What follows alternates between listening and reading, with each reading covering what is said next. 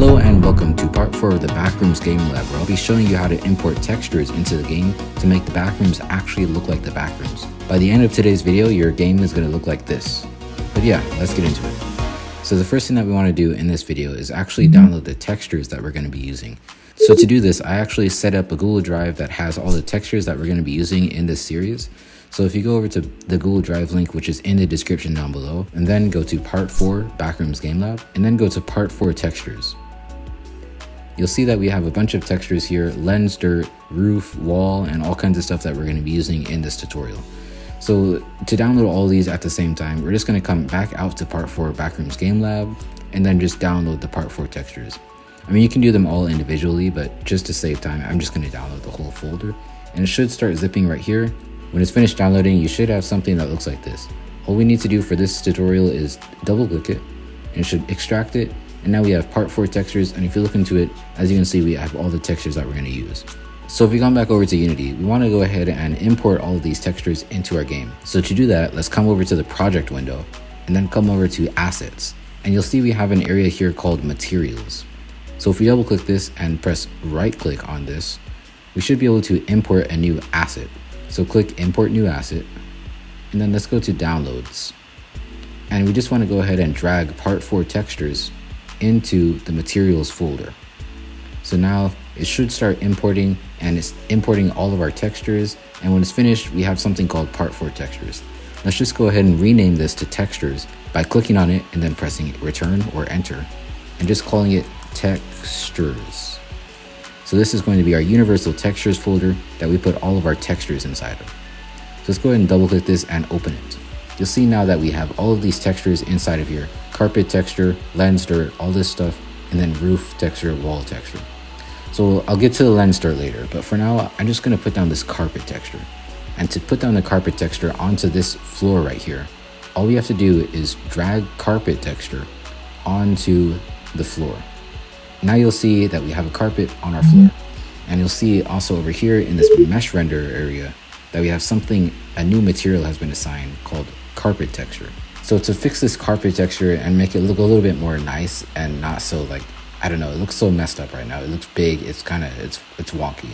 We want to change the tiling of this to make it smaller. So to do that, we want to come over to floor, come down to carpet texture material, and then go down a little bit you'll see now that there's something here called tiling.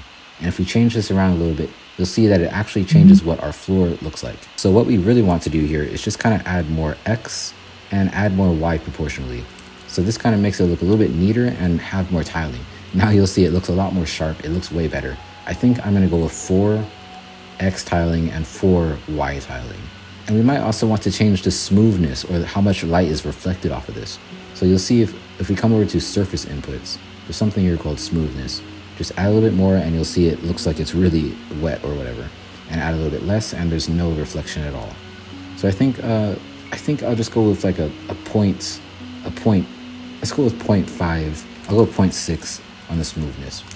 So it kind of looks like it's reflecting. It kind of looks shiny. I like that effect for my game at least. You might want to change it around for yours. And you don't have to copy everything I do for this tutorial. I'm just kind of doing a baseline of what I think looks good. But yeah, next let's do this wall texture here. And to do that, we're just gonna drag the wall texture object onto the wall. So you'll see now it, it has this uh, giant texture over it. It again does not look that good right now, but we will fix that. First thing we wanna do is fix this wall texture to make it look a little bit smaller and have more tiling. So to do that, let's first of all click on it. Then come over to here where it says wall texture material, click it, an area should open up. And if we go down a little bit, you'll see we have something here called tiling. Make sure, by the way, you're not in detail inputs. You might be doing it in detail inputs and nothing is happening. If we change the tiling of deep detail inputs, nothing will happen. But if we change the tiling of surface inputs, you'll see our surface actually changes. So do not change the tiling in deep, deep detail inputs. Just change the tiling in the surface inputs. So let's try going with a 5 by 5 maybe. And that does look like it's a little bit too much tiling. Let's try three by three, uh, maybe four by four. I think I think four by four might be the winner. Uh, let's see. I don't know. You can you can change it if you want to. I'm just this this is my tutorial series. Sorry, this this is my tutorial series. Do what I do what I do. But yeah, feel free to play around with this a lot more than I'm doing right now. This is just a tutorial, so I'm fine with it looking however I want it to look. But in your game, you should try to make it look as best as you can. So I think I'll just go with um, a 4x4 tiling. So now that we have this wall texture here, let's go ahead and drag this wall texture over here and also over here. And now we shouldn't really have to do this anymore because we can just copy paste the wall texture over. However, I might want to change down the smoothness a little bit. I don't know, it looks a little bit too smooth. You can really play around with these if you want to. I'm just going to kind of get this to an area where I want it to be. Um, I think like a point, point three of smoothness is enough for me. Yeah, th there. I think that's good. To do the roof, all we want to do is go to roof texture and I'll make this a little bit bigger so we can actually see the text. Go to roof texture, drag it to roof. So it should import blah, blah, blah. And yeah, now we have this roof. And this one again is way too big. To fix this, all we want to do is come down here to roof texture. It's the same thing we already have been doing. Do not go to detail inputs, come to surface inputs and change the tiling. I think 3x3 looks pretty good for the roof. Yeah, I think 3x3 looks pretty good. So I'm gonna go with 3x3 for my game. You can change that if you want to. But I'm gonna go by 3x3. All right, so now we have some textures on these walls here. Um, there is one thing that's mixing, missing though. Uh, you'll see that these lights, they're really just round spots here. And I did do some adjustments to my post-processing and I'll show them on the screen here for a second. I did change the intensity of this bloom. I changed the vignette. I also changed the film grain, the tone mapping, if you want to copy these over, you can copy these over to your post-processing. I just did this to make my lights look a little bit better, but it still doesn't fix the fact that they're circles and we want fluorescent square lights that fill these tiles. Now to do this, it's actually really simple. We're just gonna go ahead to this floor here. Actually, let's go to the roof here. And we wanna duplicate this by pressing Command or Control D. And now we'll see we have a duplicate floor. Let's first of all rename this to lights. And now we want to go ahead and change the size of this. So I'm going to be using this proportional version of the size changer and I'm to make it a little bit smaller, try to make it like a square and I'll drag it down a little bit. Just like this. Yeah, I think that's pretty good for now. And we also want this thing to glow. So to do that, we're actually to make a different material. So to make a new material to make this light glow, we want to come to this materials right here and then go to the materials folder inside of the materials folder. And this is where all of our materials that we've made for these for this roof, this wall, and all everything have gone. So we just want to go ahead and right click this, press create, and create a new material. Let's name this light. Now if we go ahead and drag this new material onto this uh, this like fluorescent light thing right here, we can see that we have a new area down here called light material. If we click this, come down a little bit, you'll see we have all the same stuff that we had for our walls, our roof, and the ground. Mm -hmm. So we want this to glow, and to make it glow, we want to come down to emission, turn it on, and then change this color from black to white. We also want to change the intensity and make it a little bit brighter. Just like, I think five is enough brightness. So now as you can see, it glows in the dark. But we also want to turn off, uh, where is it? We want, we want to come up to mesh renderer, come to lighting, turn off cast shadows. So now it can't cast any shadows. Next, we want to go ahead and drag one of our lights over to this light to make it actually bright. So I'm going to drag this over here and I'll drag it a little bit over here. So as you can see now, our light kind of glows and it takes a, a shape of a square. And if we turn this off, you'll see that our light kind of looks like a square. So now, most importantly, we want to make sure that wherever this square goes, our light that glows follows. So to do this, just go ahead and click this, and you'll see this is selected in the hierarchy. We'll drag point light over to the object that we named light. And now light is the parent object, and wherever we drag the square, we drag the point light. I'm also going to rename point light to um, light emission since that's actually what makes it glow. last thing we want to do is make our square actually the size of one of these tiles. And to do that, I'm going to come over here to the rect tool and I just want to drag it, make it a little bit bigger, make it kind of fit the tile of the roof. And now, it, as you'll see, it does fit the tile, and it looks it looks like it was it's a part of the uh, texture. I might I might make this a little bit more this way, just because I'm kind of picky. And yeah, I think that looks I think that looks good.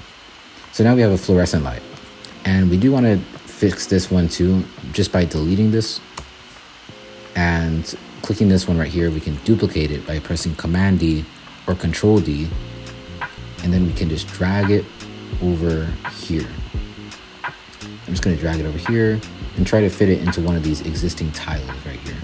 So yeah, I think I'll just put it in, um, I'll put it in this one right here. Yeah, I think that looks good.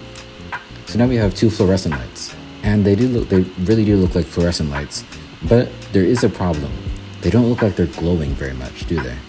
So this is why one of the textures that I gave us was a thing called uh, lens dirt, I believe. So let's actually put this on our post-processing to make our camera have a type of glow effect when they're looking at the light. So to do this, let's go to materials, go into textures, and you'll see we have a few things called lens dirt. Now you can choose which one of these you want to use, but I'm just going to be using lens dirt 01. Now that we're in the textures folder, let's go to post-process volume and come to bloom. You'll see that we have this thing here called lens dirt. So if you go ahead and turn both these on, you'll see it requires a dirt texture. So if you go ahead and drag one of these dirt textures over to the this area right here, uh, you'll see, yeah, we have a we have a type of dirt on our screen. And we also want to turn up the dirt intensity a little bit. I turn mine to, I'm to turn mine to 130 because I think that's pretty good. And when we look at the lights, you'll see that we have this, this type of dirt on our screen now, which wouldn't have been on originally if we didn't have the lens dirt. So yeah, that kind of makes our cameras look like it's glowing a little bit and it really makes the lights stand out as actual fluorescent lights. So I think that looks really good. So the last thing I'm going to be doing in this video is actually making our walls look more detailed and I'm also going to add in pillars to the back rooms. So to do this, I'm going to go ahead and click both of these walls here and I'm going to come over here to the hierarchy window, right click it and press delete. Now we just have one wall. And when we make changes to this wall, I'm just going to duplicate it to the other ones because I feel like it would take too long to make all the changes to each wall individually. Let's go ahead and duplicate this wall. And I'm going to rename this to base. Now if we go ahead and drag base into wall, we can kind of make this look a lot like a, a floor base for these walls here. So let's drag it out a little bit and then let's drag it down and if we click off of it, you'll see that we kind of have this base effect going on here. So it doesn't matter what exactly is happening down here. It might be going through the ground, but it doesn't matter because our player is never gonna see it. So let's go ahead and drag this up a little bit and you'll see that it looks more like a base. I'm also gonna go ahead and click this, duplicate it again, and drag it up. You'll see now that we have a type of effect going on here that looks like the original picture of the backrooms how it had a like a type of strip here that was missing. I'm gonna drag this out a little bit more though, just because I think it's missing that kind of detail to it. And now, yeah, I think this looks like a complete wall that we need for the back rooms. So let's go ahead and duplicate this wall here. And we wanna come to the Z here. I'm just gonna make this to Z equals zero because I think that rotates it perfectly for me. It might be different for you, but for me, it's just Z equals zero. And I want to drag this over here back to the spot that it was originally at. Now if we drag it forward a little bit, it kind of fits in to the spot that it originally was at. However, um, it's not actually rotated right, so I'm just gonna do it manually. If you click this, hold command or control, you'll see that it's on a grid. And if we just drag it over here, it's facing the right way and we have the detail on this side. So I'm going to duplicate this wall again, drag it forward, and then I want it to be facing behind itself. So I'm going to go ahead and drag it over here like this. And now it's facing the right way. Mm-hmm. So now we have three walls here that all look pretty good and they're all facing the right ways. I'm going to add a fourth wall for now by just clicking this one right here, this wall, duplicating it, dragging it forward, and then rotating it once again this way. And then we can move it a little bit back this way. And now we kind of have a room going on here. I'm also going to just drag this a little bit forward this way, just because later on we might put a pathway here. But yeah, this is a pretty good area that we have going on here. Alright, so now that our room is looking like this, the last detail that I want to add in this video is a pillar. And to make a pillar, I'm just going to click one of these walls and duplicate them.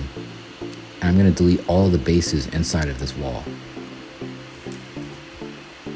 I'm going to drag this to the center of the room and make it smaller by coming to the scale tool and dragging it on this red area and then dragging it on the green.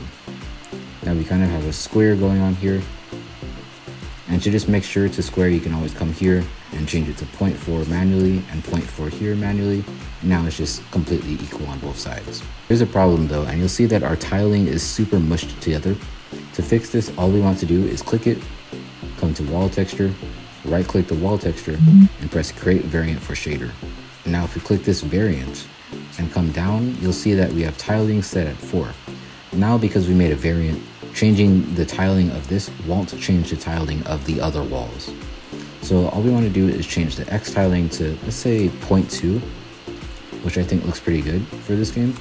Now that fixes it for that side, but if we come over to the other side, you'll see that our tiling is the exact same. To fix this, first of all, I'm going to come over and rename this to pillar. Let's go ahead and duplicate pillar. And we want to go ahead and change the Y rotation, something like that. We want to expand it ever so slightly and contract it ever so slightly on the red side. And now you'll see that we have a pillar effect going on here. I'm going to drag pillar into pillar. So now this is a parent object of the pillar with a 1 next to it. Now you'll see that we have a pillar and all sides of the pillar have good tiling and none of them are like weirdly mushed together or anything. If you want, you could add bases to the pillar and to add bases, it's really simple. You just go ahead and duplicate it, change this this like square one a little bit in the very center. That makes it bigger on all sides and then just drag it down. Now you'll see that we kind of have a base going on here. It's, it can be kind of smaller like that. And then, uh, yeah, I just want to also duplicate this again. I want to rename this to pillar base. Pillar base. Duplicate it one last time drag it to the top for the final time in this tutorial series and drag it a little bit higher, a little bit higher, a little bit higher maybe. And yeah, I think that's pretty good. Now we have a pillar that has a base on the top and the bottom. And if, oh yeah, we want to make sure first of all that we drag both of these into the pillar object. Now let's go ahead and save our game by pressing Command S or Control S, and you'll see that the star right here will go away, meaning that we've saved our game. So that's all for this part of the tutorial series where I showed you how to add a pillar to the room, I showed you how to make the lights square, and also add a cool detail to the camera, so whenever you look at a light, it kind of adds this detail to it. In the next part, we'll be showing how to make flickering lights that kind of look like this and are flickering inside of the back rooms. I'll also be showing how to add sounds and fluorescent light bulb sounds, which are so iconic in the backrooms. You can't have the backrooms without adding more fluorescent light bulb sounds. I Encourage you to expand on this area of the backrooms a little bit in between this video and the next video so that you can make this area look bigger, add more hallways and stuff. However, in the next video, I will just be adding more hallways anyway. So yeah, you can wait for the next video to add more hallways, or you can just do it in between this video and the next video. But yeah, I've been Developer Jake, and we will see you in the next one.